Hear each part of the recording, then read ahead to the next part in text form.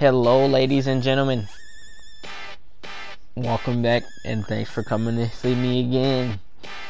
Today, I'm going to talk about Charles Barkley on Get Up this morning, and one of the topics he was talking about in uh, his in his little interview on on Get Up this morning, where he talked about players forcing their way out, and a little bit about him talking about Embiid and Simmons on the Philadelphia 76ers and I'm gonna really dig into the trade thing, like I talked about uh, the Supermax earlier last week. And uh, first off, I'm gonna talk about Charles Barkley's kind of acting up today. He was tripping today. He was talking, saying Embiid needs to lose weight and Ben Simmons needs to work on his game, and like he was just acting a fool on there. and I think he's tripping a bit because Joel Embiid, they say he's a lot heavier, but he's uh different. He's different. He's built a bit different. He got he has to he Embiid is it's not really a shape thing for him. I think that he just needs to get like he needs to get to the point where he can stay on the court healthy. Every season he has a some uh, some type of injury or he'll get sick in the middle of the playoffs and have to almost miss a game. And that's not really something you want from your star player in the conference semifinals. Like they were literally they still they were a shot away from winning that series pretty much. And if he comes, if he's playing in that game, if he's 100% that entire series, the 100% the entire playoffs, they might even sneak one out and beat Toronto. And we're looking at a Philadelphia 76ers championship or a Milwaukee Bucks championship.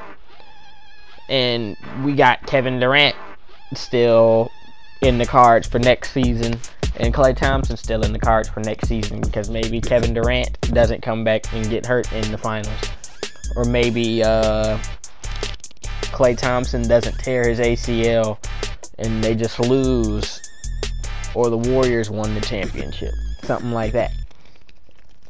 But we're gonna get off that. We got um the trade, but we're gonna get on that trade part now.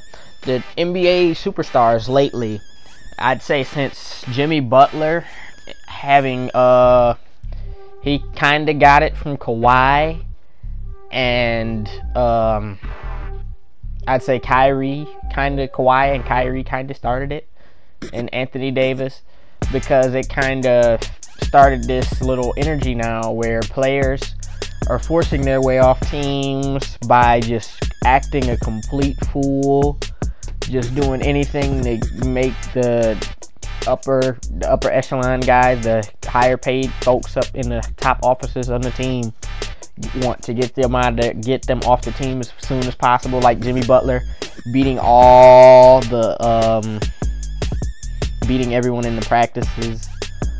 Like Jimmy Butler playing with third stringers, beating the starters, and talking all the biggest garbage to KAT.